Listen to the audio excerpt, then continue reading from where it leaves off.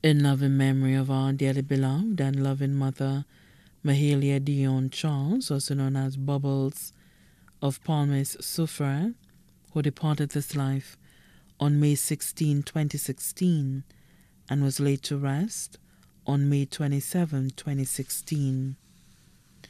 As we celebrate your 41st birthday, your daughters remember you with love and dedicate this poem to you.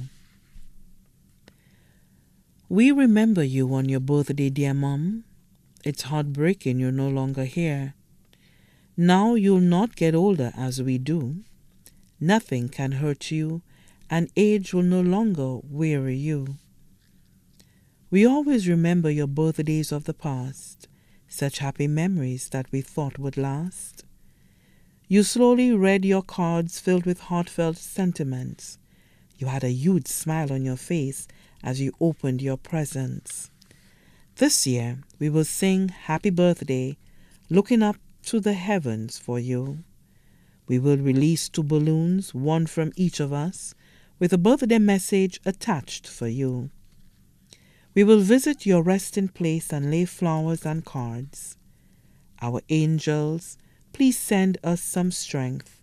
It's going to be hard this year. We will light a candle and blow it out for you.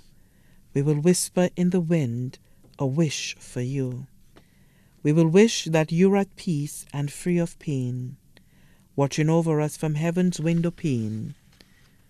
Whatever day it is, we will always remember you on your birthday. We want you to know how much we miss and love you, Mom.